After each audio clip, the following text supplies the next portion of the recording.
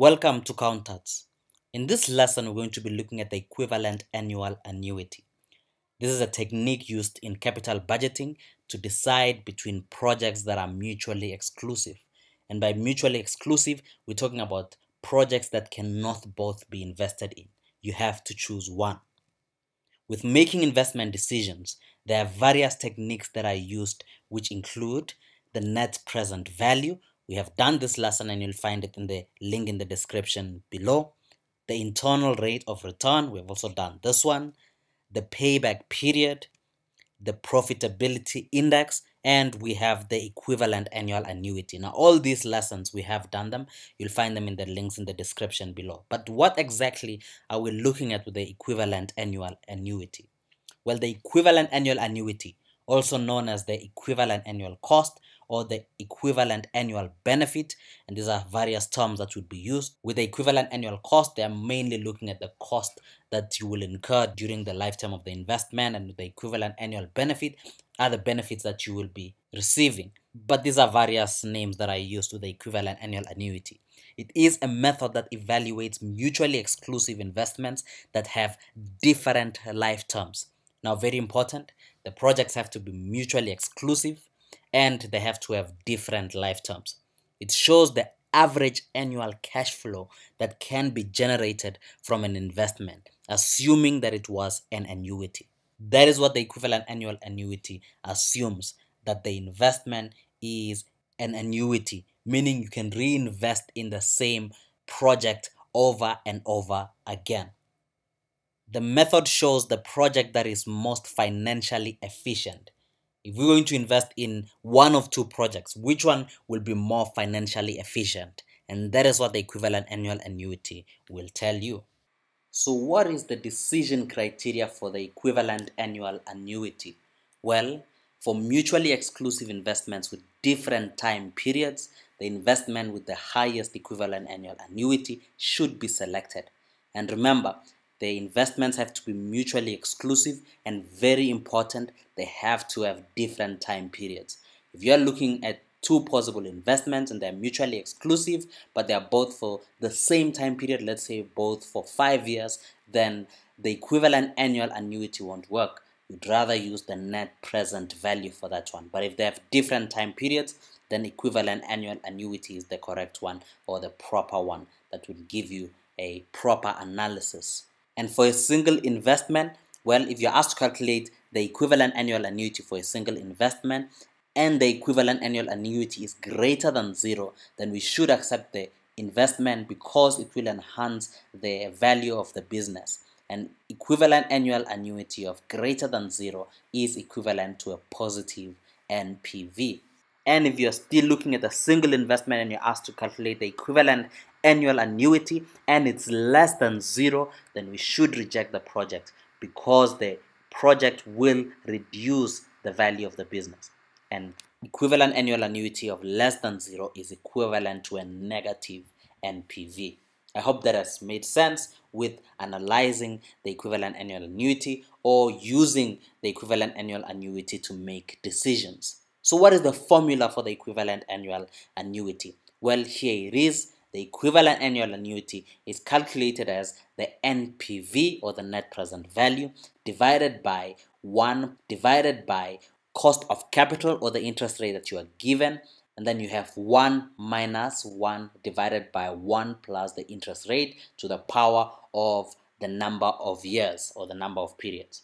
And this is the formula that you will use to calculate the equivalent annual annuity. You will note here that you will need your net present value for you to calculate the equivalent annual annuity.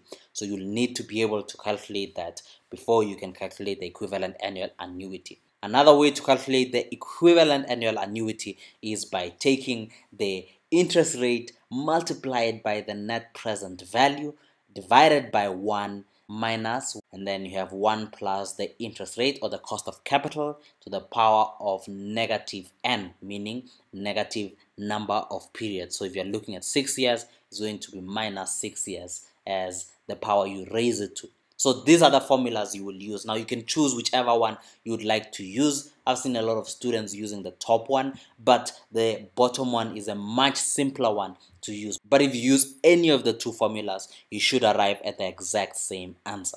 So let's get into an example and see how we calculate the equivalent annual annuity. Here we are given an example. We are told that Kiriswa Limited has come across two projects it would like to consider investing in. The two projects are mutually exclusive. The entity's cost of capital is 10% and we are asked to calculate the equivalent annual annuity.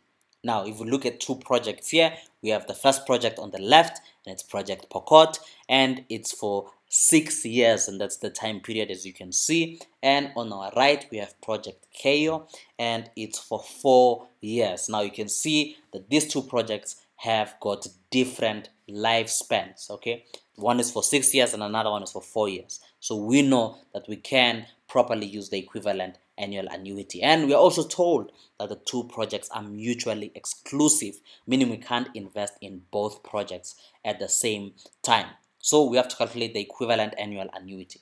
Now, the first thing that we have to do is to calculate the net present value. You can see very clearly we are given the initial investment and we are given the cash flows from year 1 to year 6 and that's the same for both projects. So for us to calculate the net present value, you can either use the table or you can use the financial calculator depending on which one you're using or you can use Excel to do that. Now here we're going to use the table to do so. I'm not going to display the table here. I'm hoping you know how to do that. Well, as we can see here, the cost of capital is 10%. So you will look at 10% and we'll look at each specific year for the first year, for the second year, for the third year, all the way to the sixth year, what the present value factor is. Well, I've already looked them up and here they are from year one all the way to year six. And by the way, in our lesson on the net present value, you'll find it in the link in the description below. We go into this in great detail on how to calculate the net present value using the table. And now that we have the present value factor, all we need to do is to multiply the cash flow for each specific year with its present value factor. So for the first year, it's going to be 30,000 Rand times 0.9091 and we get the answer and we get the present value for that cash flow and we go all along to the sixth year so what is our answer going to be for each year? Well, I've already multiplied them and here we go. For the first year, you can see 27,273 Rand all the way to the sixth year, 16,935 Rand. Well, if your answer is a bit different to mine, then it's because of rounding off differences. None of us will get it wrong, but it should be very close. So if you want to get these present values, by the way, without even looking at the present value factor, without going to the table, here is a formula that you can use to do that. And you can see it here. It's the cash flow for each specific year. So let me take, for example, cash flow at year two is 35,000 Rand. So it's going to be 35,000 Rand divided by 1 plus the interest rate or the rate or the cost of capital, which is 10%. And then we raise it to the power of n. n is the specific year we're dealing with. And in this case, it's year 2, as I mentioned. I'm looking at year 2. So it would be 35,000 divided by 1 plus r or 1 plus 10% and raise that to the power of n, which is 2. And it would give you this 28,924 n. Okay, that's just a side note.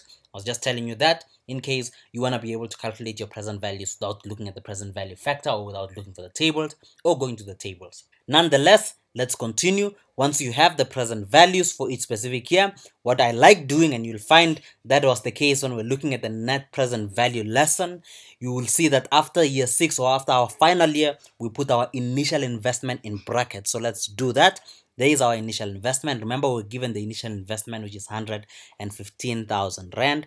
We put it in brackets here at the bottom. And remember we don't discount it to today because the initial investment is what we'll be investing today. So it's the value today anyway. And then once we have that we just total up these present values column so we're going to take from here 127,273 Rand all the way to negative 115,000 Rand and it's going to give us our net present value. So once we have that, we have our net present value. I have just calculated or summed up everything all the way to initial investment. It gives us a net present value of 13,000. 268 rand 50 cents you can see our net present value is positive and what does that make our equivalent annual annuity well, if there's anything we know about the equivalent annual annuity so far, is that it's going to be positive because our NPV is positive. Okay, now let's quickly rush and do the net present value for project 2 or project KO here on our right. We have the cash flows from year 1 all the way to year 4. Remember the term for the second project is only 4 years. So we put our present value factor. It's exactly the same present value factor because the cost of capital is 10%. The entity's cost of capital is 10%. So we'll use the 10% for both projects. So our present value factor, as you can see, it's the same for Project Care as it is for Project Pokot because the interest rate is the same or the cost of capital is the same as I've just mentioned. And then we just multiply the cash flow by the present value factor and it gives us the present values for each specific year. And once we have that, we make sure we put our initial investment as a negative and there we go 100,000 Rand as a negative. And all we need to do is to sum up this last row, the present value, rows all the way to the bottom of the initial investment as a negative, and we have our net present value, and you can see it's 11,428 Rand 50 cents.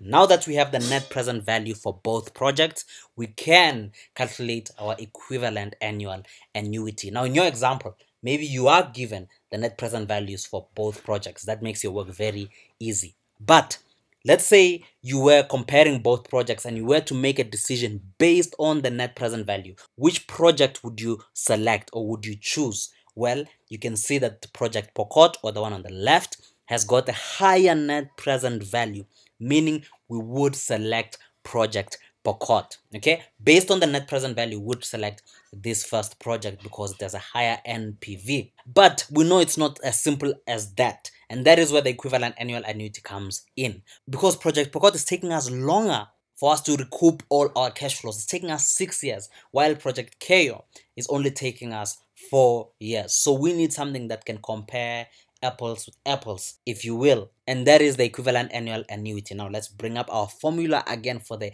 equivalent annual annuity. It's the NPV. So we're going to do this for both projects. For Project Pokot, it's going to be NPV, which is 13,268 Rand 50 cents. We divide that by the sum of the denominator. And remember, we include everything. Remember to calculate it properly because if you do not calculate your denominator well, then you may get an incorrect answer. So it's the NPV 13,268 Rand 50 cents divided by 1 divided by the 0.1 or 10% and then you've got these big bracket, you've got 1 minus 1 divided by 1 plus 0.1 or 10% and we raise that to the power n for project Pokot. the n there is 6 years and that will give us our answer. And what is our answer? Here we go. We've taken everything and we've plugged in everything here. And we get an equivalent annual annuity of 3046 rand 55 cents that is the equivalent annual annuity for project Pokot or for the first project which takes us six years. And now let me put in my equivalent annual annuity here at the bottom. There we go, 3,046 and 55 cents. Now, if you were to use the second formula or the shorter one, or you'd prefer to use the second one, here is how it would look you will have your rate times the NPV, which is the 0.1 times 13,268 Rand 50 cents. And we divide that by 1 minus 1 plus the rate, which is the 0.1 or 10%.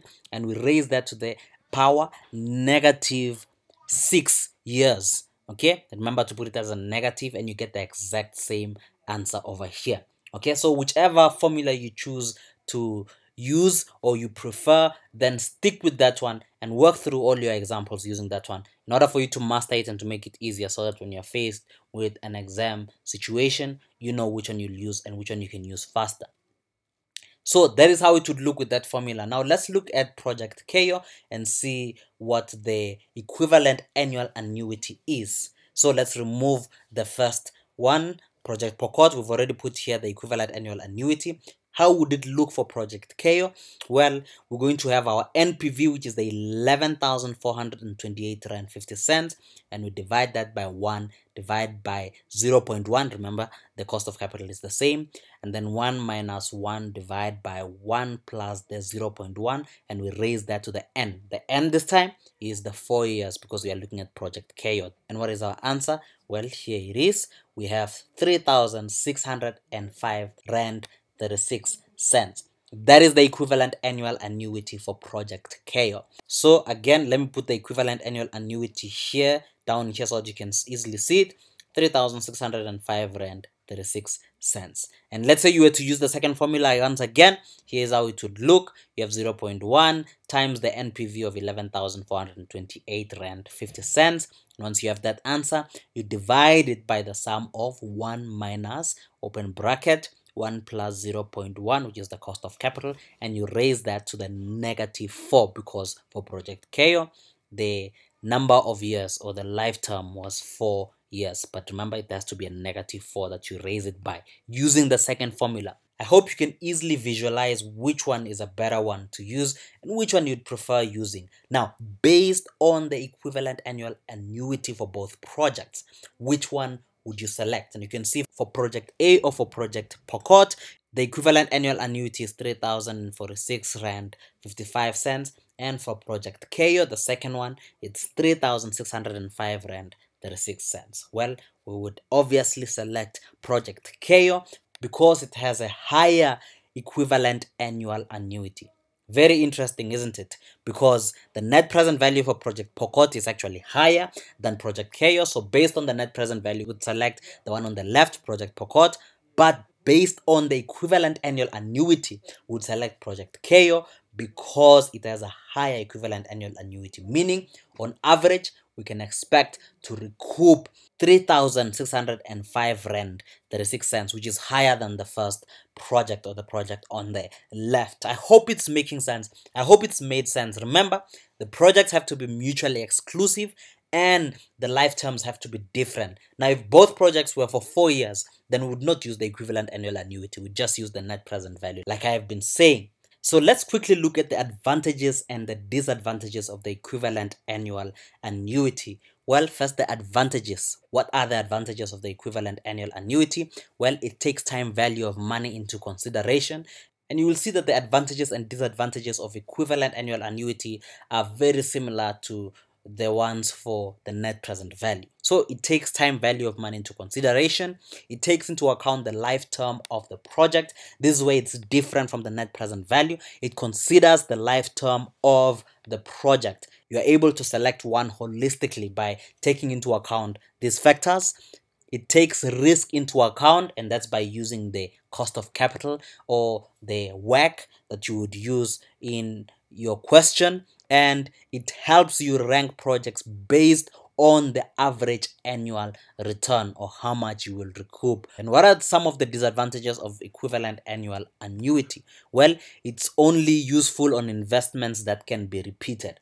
If the investments that you are looking at cannot and will not be repeated, then the equivalent annual annuity is not the best one to use. So it assumes that the investments can and will be repeated over and over again. So that's when it's only useful it makes the assumption that investments can be repeated indefinitely, and that is the assumption that the equivalent annual annuity makes. The method further assumes that the entity will be interested in repeating the project into perpetuity. So what this means is that the method that you're using, you're assuming that you will be repeating this project over and over again, but the entity may not be interested in doing so if it can even repeat the same project over and over again. It makes the assumption that the initial investment and cash flows will remain the same for reinvestment. And obviously, that's not realistic. The initial investment and the cash flows will not always remain the same due to factors such as inflation and obviously things changing very rapidly over time. I hope it has made sense. I hope you enjoyed this lesson. I hope you've gained value from it and you now know how to calculate and how to analyze as well as the advantages and the disadvantages of the equivalent annual annuity. If you have indeed gained value, please subscribe to our channel like this video and share it to those you think it might help. Till next time, cheers.